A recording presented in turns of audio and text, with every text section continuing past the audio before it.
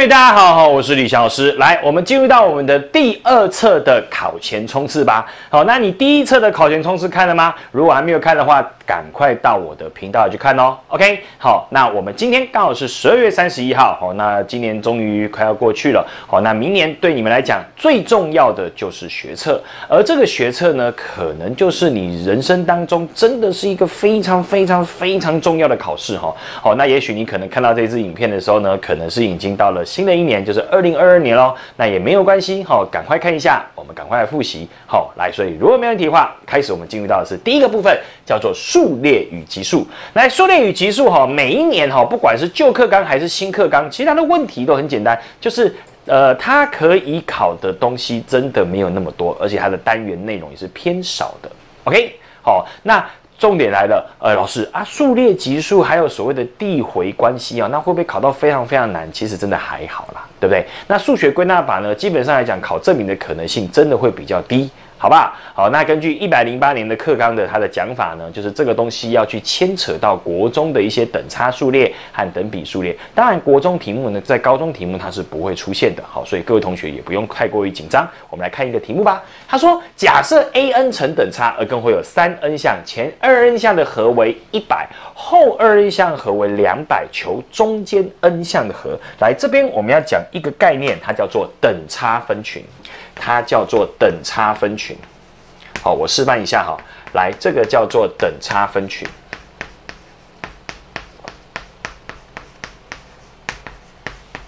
，OK，来，那我们给你一个简单的等差数列，好，比如说，呃，一、三、五、七、九、十一、十三、十五、十七。好，我给你一个等差数列，一共会有九项。那我今天拿起一把刀子，啪啪啪，然后刚好把它分割成三份，帮我把它分割成三段，就像是一条香肠，你切切切切成三段。那我们现在讲的等差分群叫做前面三项的总和，跟中间三项的总和，还有后面三项的总和。都会成等差，前三项的总和，中间三项总和，后面三项总和都会成等差，这个叫做等差分群还是等差？这个叫做等差分群还是等差？香肠切一切还是香肠？OK，老师啊，这个东西我们到底该怎么去做计算？来，不然我们这样子想哈，来问你一三五，来这个东西我们使用到所谓的等差中项概念，这个三就是我们这一个数列当中这三个数当中的等差中项。等差中项有什么特色？有前后两项相加会等于中间项的几倍？两倍。对，所以一加五是两倍的三，再加一个三，一共是三倍的三。来，再来一次哈。来，前后两项相加会是中间项的两倍，所以七加十一，两个九，再加一个九，一共会有三个九。来，前后两项相加会是中间项的两倍，十三加十七，三十，它是两个十五，再加一个十五，它是三个十五。好，我们先不管别的，我先问你一个问题：三九十五，三九十五有没有成等差？有啊。三加六是九嘛？那九加六也是十五嘛？对不对？所以三九十五成等差，那它们同时乘三倍，当然也是等差。所以这个东西我们使用到等差分群的概念。好，老师，那这个题目到底怎么做呢？来，你放心，等差分群，你照我的逻辑来写就好了。来，他说前两项和的，呃，前二 n 项和为一百，所以我们就从 a one 一直 biu biu biu biu biu 到 a n，再从 a n biu biu biu biu biu 到 a 二 n。来，再从 a 二 n，bu bu bu bu bu 到 a 三 n，好，根据等差分群讲的概念，叫做前面 n 项的总和跟中间 n 项的总和，还有后面 n 项的总和都会成等差，懂吗？这叫做等差分群还是等差？人家现在要问的是中间 n 项的和，好，那这样这样子的话，我们就把中间 n 项假设叫做 x 咯。那前面 n 项总和，那就是少了一个公差。来，后面这边呢，它就是多了一个公差，然后呢，开始把我们的条件给它写上去。他说前二 n 项的总和，哇塞，哇塞，按你给我这几把。来，后面二 n 项的总和，没错，给我这两把。来，所以马上是不是可以解出一个联立啦？所以，因为我们可以得到前面二 n 项总和叫做 x 减掉公差再加上 x 会等于一百。好，这里是 x 加上 x 再加上公差会等于两百。来，所以我们可以得到二 x 减掉公差会是一百。这个叫二 x 加上公差，它是不是两百？好，来，所以这边如果没问题的话，来两次到齐，反正我们要求是中间 x 嘛，我们就相加，是不是可以消消？所以四倍的 x 会等于多少？三百。所以。X 会等于多少？七十五，简单利落。你懂这个观念，这个题目你就做出来了，好不好？好，那呃，对，附带各位一提哈，那我们的数列级数当中，西格玛部分已经全部拿掉了，它拉到了所谓的高三。好，你也不要觉得太贵怎么样啊？当然，如果你学校时候教你西格玛的话，也是不错。可是我要跟你讲，学科能力测验应该会避开一定要用西格玛可以做的题目。好，所以各位同学，其实你也不用太过于去复习西格玛了，好不好？好，所以如果没有问题的话，我们赶快进入到是下面的部分喽。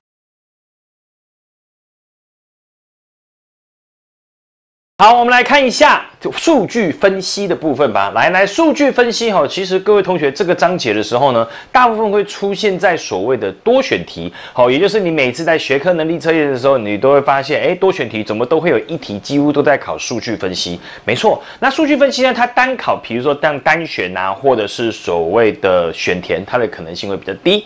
那大部分考在多选的时候呢，它的题目就会非常非常非常冗长。但是你要记住学科能力测验的。规则通常来讲的话，其实像我啦，我自己在看学科能力测，我最害怕就是那种只有一行的题目。为什么？因为只有一行，它的条件给的会一定超少，所以它通常那种题目都会比较难。那老师，那如果说是叙述很多呢？叙述很多的话，它给条件一定会特别多。而且通常来讲的话，你要记得哈，难题不需要包装，直接一行写出来就让你算不出来。那简单的题目呢，我为了要去掩盖我很简单。所以通常来讲的话，我都会把题目叙述的非常非常复杂。其实它都是一个基本的逻辑，就基本的出题逻辑概念呐。好，你只要掌握到这概念的时候，我们就可以去解决这样的题目。那所以各位同学，包含你在做判读资料的时候，这个对各位的同学来讲真的是非常非常辛苦，因为你们在看考题的时候，只要看到那个题目比较叙字呃字的叙述比较多，第一件事情啊，先跳过再说啦，啊，先看下一题，对，都会这样子。那其实哈，像这种字很多的题目，我跟你讲。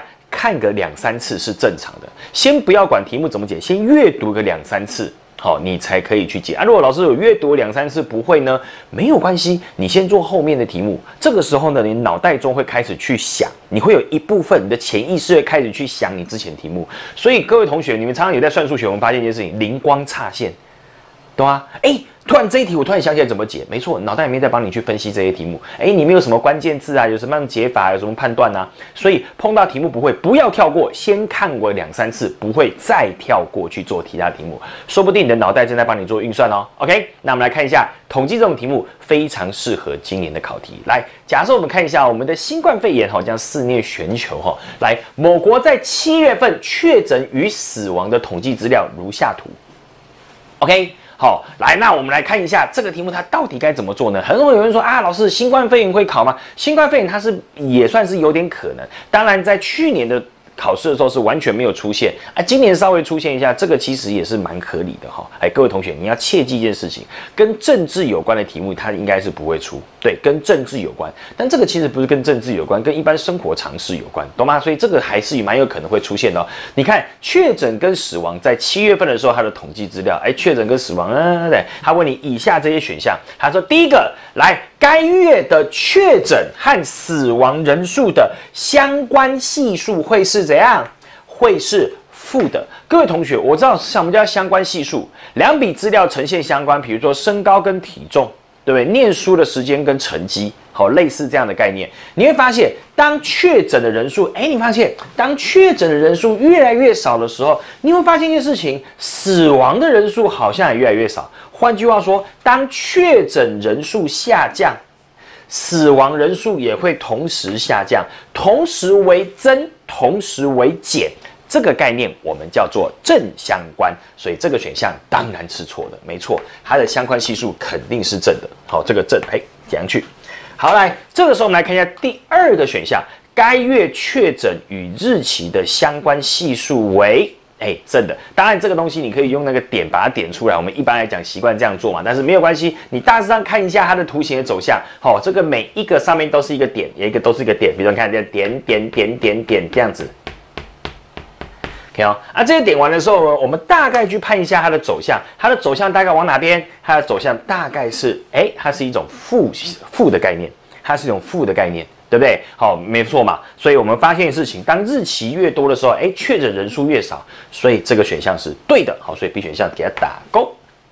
OK，那 C 选项呢？哎，C 选项看的是死亡人数，哎，死亡人数也是一样啊。你有发现？哎，它也是一种负相关的概念。没错，这个打勾。来，这个时候的猪选项，我们来思考一个问题。该月确诊人数与日期的最适合直线的斜率，呃，我们来讲哈，所谓的斜率怎么看？来，最适合直线的斜率，来，你要去判断斜率的定义是什么？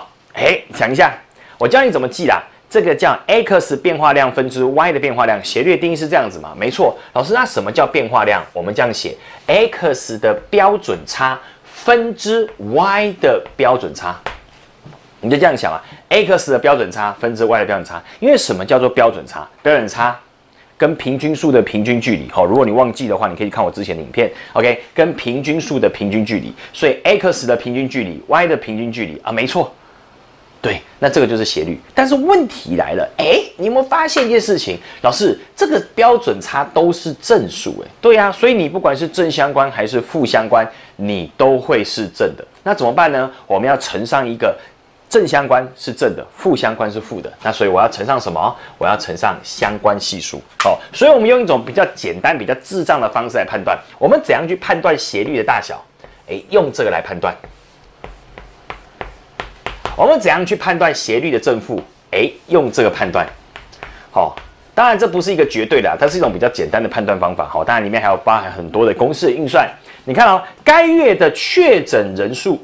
和日期的最适合直线斜率，你只要看到直线斜率到底是正的还是负，先不要管大小，你只管正负。正负的话，那就直接看谁？看相关系数。没错，它相关系数会是负的，所以他说它一定是正的。No No No，它应该是负的，它应该是负的。好，所以这个选项就打叉叉，所以主选项是错的哦。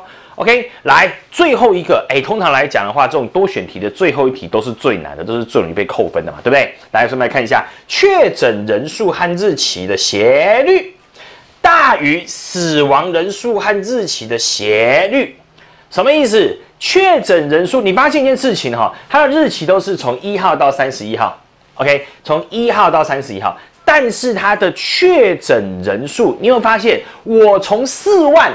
一直下降到多少？一万。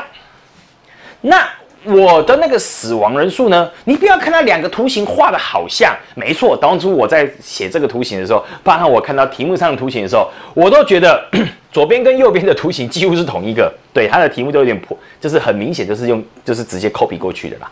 来，但是你有发现它的 y 坐标有差，从四千变一千。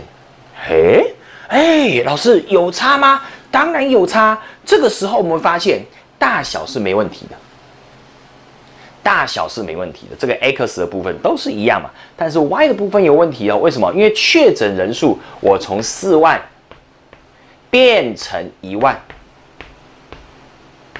，OK 哦，这个下降的比较大。OK，那死亡人数我从四千变成一千。它只少了多少？这个少了三万，这个少了三千，所以这个下降的数字会比较大，变化的数字会比较大，所以负的越大，其值应该越小。没错，它是小，所以这个才是真正的大，所以这个选项，恰恰。哎，对，这个都是错。我跟你讲啦，统计这种考法才是合理的，不是不是透过很多的计算，而是教你怎样去判图这些图表，让你去了解。好，那我们稍微用一些简单的公式，我们大概就可以了解喽。OK，所以数据分析的题目拿到的时候，千万不要怕，多看题目几次，绝对对会对你有帮助。所以如果没问题的话，我赶快看一下下面的章节喽。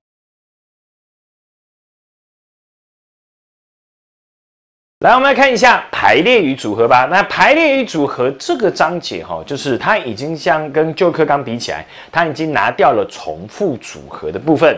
那既然已经拿掉了重复组合呢，所以太难的题目哈，所以各位同学就不用太过于紧张，以导致在排列组合现在它的难度就下降了蛮多的。好，那我们的着重呢，还是在于基本的排列组合的题型去分析。那当然，排列组合其实每一年我们都非常非常难猜哦，因为它的题型真的是千变万化，很容易跟生活上的东西来去做连结。好，那但但是呢，各位同学还是老样子哈，看到题目多看几次，好不好？好，因为它的叙述性的题目真的有时候比较麻烦，好不好？OK，所以如果没有题，我们来看一下这一题哦。来，三名医生和六名护士分配到三所学校，每校分别配一名医生和两名护士，则分配方法为何？我跟你讲啦，如果单纯只有三名医生，这个事情就好办。可是问题来了，会有六名护士，一个学校两个护士，这个叫什么问题？这个叫分堆分人问题啊！来，各位同学，如果你到现在为止哈还不会分堆分人的话，赶快去我的频道，我分堆分人讲的非常非常清楚，绝对会对你有帮助。OK，好，那我就不再啰嗦分堆分人的问题，我们就直接开始喽。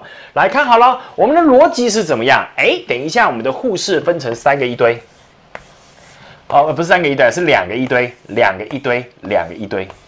OK，然后呢，我们去分给三个医生，叫做甲乙丙。好，把三堆护士分给三个医生，然后呢，它这样是变成三个一组，三个一组，三个一组，再去分给 A、B、C 三所学校。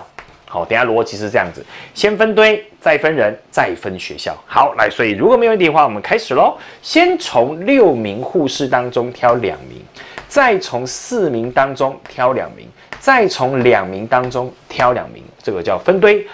堆本身没有记号，个数相同除以，哎，各各自个个数相同视为相同物，所以也就是说这两个一堆，两个一堆，两个一堆，我们要视为相同物。再讲一次，堆本身没有任何记号，个数相同，我们这三堆视为相同物，相同物，所以不用排嘛，不用排，要除以几阶？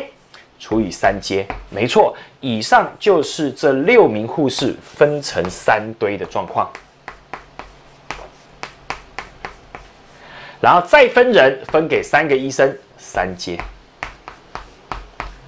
再分给三个学校，再分三阶。好，赶快去我的频道，把我们那些东西全部看清楚哦。OK，好来，所以这个时候我们就可以开始啦。来，这里的三阶跟这里的三阶，消消。C 六取二，六五三十，三十除以二十五，四三十二，这里是六，这里再乘以六，答案多少？答案是五百四十。OK。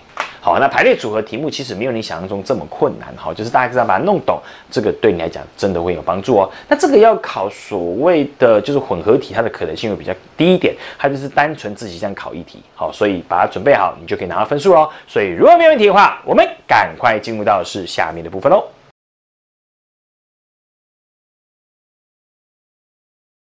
好，我们来看一下几率的部分吧。哇塞，来几率的部分哈，那几率跟期望值哈，如果对我来看的话，期望值真的是蛮常考的，因为期望值在大学哈，甚至你在生活上面真的是蛮常用到的哈。不管你是理组还是文组，都很常用到所谓的期望值。所以我们大概认为哈，期望值它是比较有可能会出题的。那期望值的出题哦，其实也是蛮千奇百怪的哈，大致上也是属于叙述性比较长的题目，它也比较不会跟那些就是所谓的混合题啦，所以应该是还好。好，那我们来看一下这个期望值的部分吧。他说：“嘿，甲队有 x y s two a 三。”乙队有 y one y two y 三，今天他们就这样子一对一，一对一，一对一，好，就是没有重复的这样子一对一，然后对战三盘，如果赢两盘的人就可以得到二十四万，输的人就可以得六万，那这样乙队可以得多少钱？哈，他的期望值是多少？来，那你发现哈，这个时候呢，他们的实力就是有点问题的，哎，实力就是 x one 大于 y one，然后 x two 大于 y two，这是 x 三大于 y 三，哎，老师你不用看呐，那乙队稳输。输的嘛，一定零块嘛。对啊，你看，你看，我派我的最强，跟你的最强，我还输你耶。我派我的第二强，跟你的第二强，我也输你耶。我派我的第三强，跟你的第三强，我还是输你。那这样的话，我根本就不可能赢啊！啊，期望值零元啊，不是啦，怎么会是零元？来看好了，这个题目哈，我们是这样思考。来，假设我们举个例子，假设我们举个例子。好，来这个时候呢，我把甲队的三个人都放在这里，这个叫 x one 这个叫 x two，这个叫 x 三。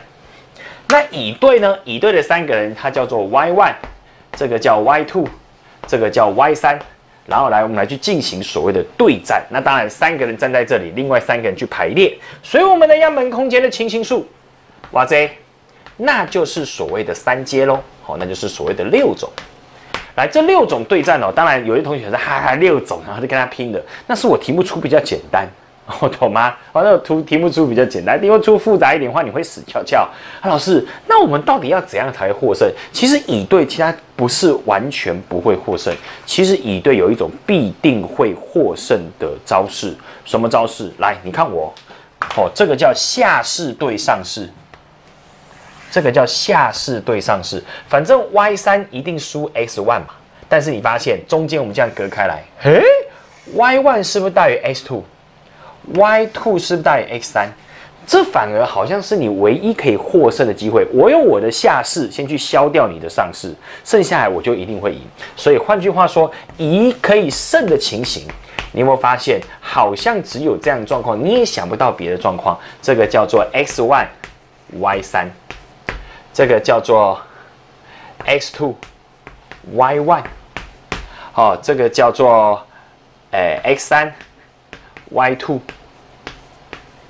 好，这个时候呢，乙他真的会险胜，因为这个就是输的嘛。但这两场会获胜，哇，代表这么多情形，好像只有一种会获胜诶。对，那就只有这种会获胜，那就很可惜，只有他会获胜。所以再算他所谓的期望值哈，我们就可以写成来一样。他会获胜，九死一生的做法就是这样子，好，他就是变成是赢得二十四万，但是全部情形他就只有六种啊，就是一种方法喽。那如果他输呢？输的话呢，就会得到所谓的六万。那其他的可能性好，其他你不管再怎么排，就稳输的啦，好不好？来，所以来六四二四，来这里再加五，好，那就会等于九万喽。OK，好，所以这个题目它就是这样子。好，所以期望值哈，其实考的很简单，重点还是在于前面的几率的判读这个东西，你一定要会。好，所以希望各位同学哈，针对期望值的部分，再稍微去看一下它的题目。好，这样子的话，你在面对几率跟期望值这个单元就比较不会出错喽。OK，所以如果没有问题的话，我们赶快进入到是下面的部分喽。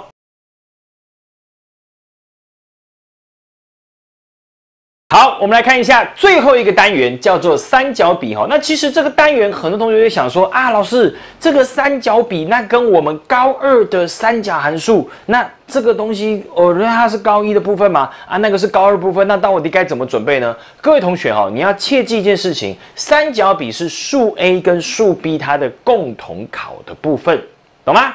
所以它的相对之下呢，它里面所出现到的难度就不会这么高。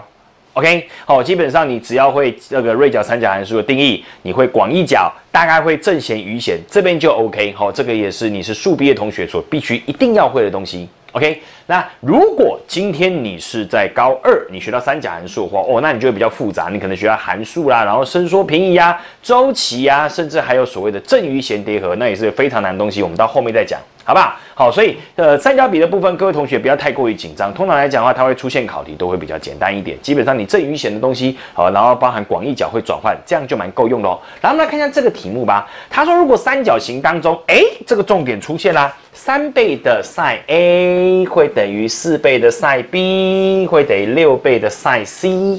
好，那这个东西我们到底该怎么做呢？好，他告诉你，BC 边上高为根号十五。好，那请证明第一个三角形 ABC 为钝角三角形。好，那首先我们必须要知道，因为正弦定理，因为正弦定理来看好了，我们知道三倍的 sin A 会等于四倍的 sin B，会等于六倍的 sin C。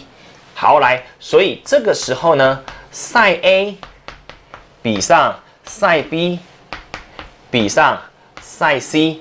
会等于什么？来，你就这样想嘛，三的倍数、四的倍数、六的倍数，它的最小公倍数是不是十二？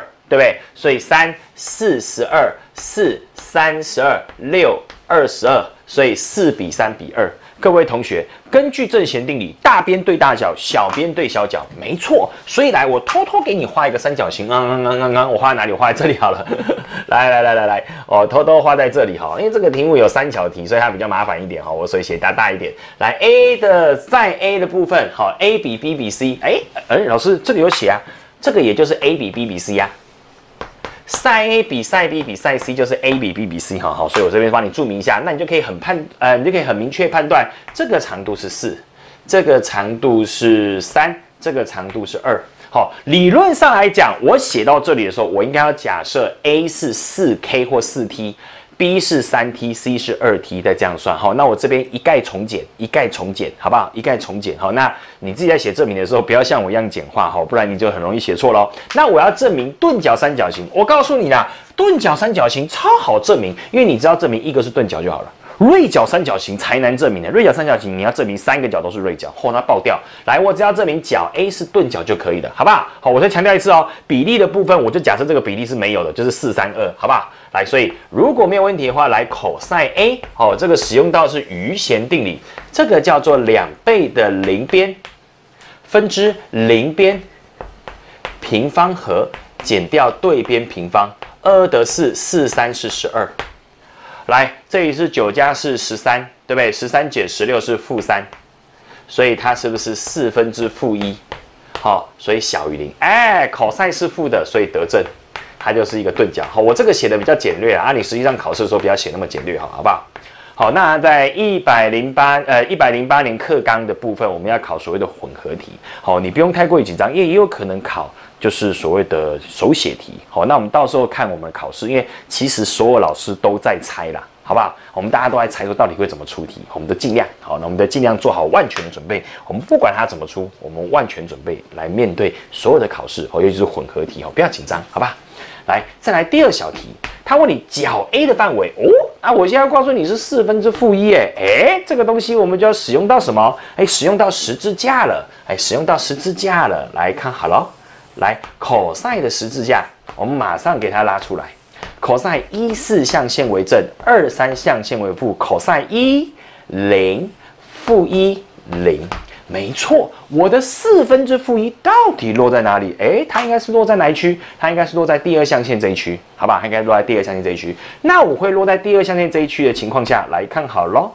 这里的函数值叫做来四分之负一，呃，那你四分之负一大概是多少？负的零点二五嘛。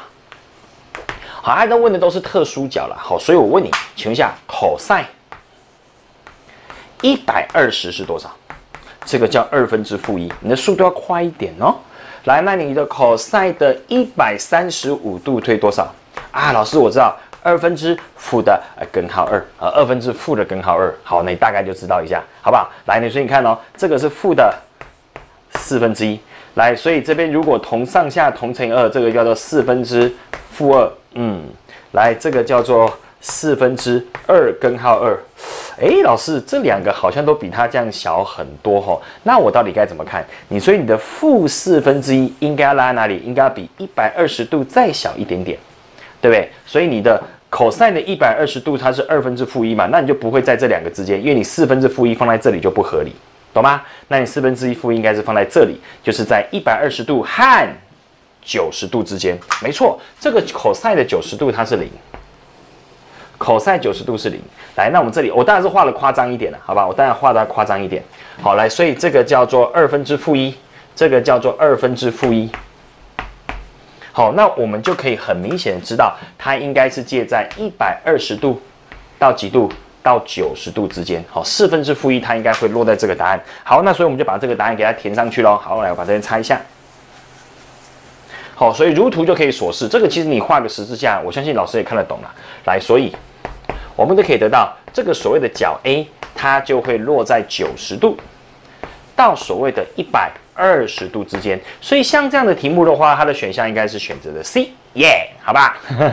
来，我们看一下，来第三个求 A、B、C 的面积。哦哦，这个可真的要给它算一下哦，这个就不能乱来了，这个要真的画图了，好不好？来，我来画图喽。来，开始画图，正式的给它画个图。正式的给他画个图，OK，来这里是高，它是 BC 边上的高，这个 B C 边上高为哇这，哎，根号十五，哎，根号十五，那个一有点粘不太粘住了。这个叫根号十五，来这里是 A，来我们知道，来这个叫做四，哎，四 K 好了，好不好？这个 B 我们叫三 K，好，C 叫做二 K，好，画的完全不像，没有关系，可以算就好了。来，各位同学，请问一下，你三角形的面积你会不会算？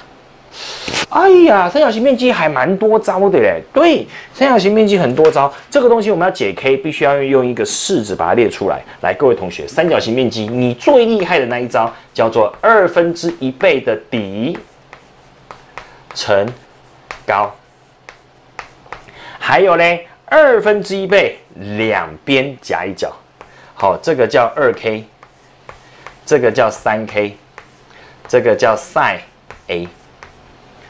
这个叫 sin A，可是我只有 cos A 啊，我的 cos A 是四分之负一诶，那我要求 sin A 怎么求？来，你看我这个哦，我示范一次给你看。广义角的题目哈，其实呃，如果你之前有看过广义角影片的话，我们说过三角函数，好，三角比，广义角的三角比。要求的是什么？要求考，要求是判断它的正负号。其实定义都一模一样。来，cos 叫什么弦？余弦，邻边比上斜边，这个叫负一比上四。老师为什么不是这里是一，这里是负四？没有，因为这两个叫坐标，而这个叫长度。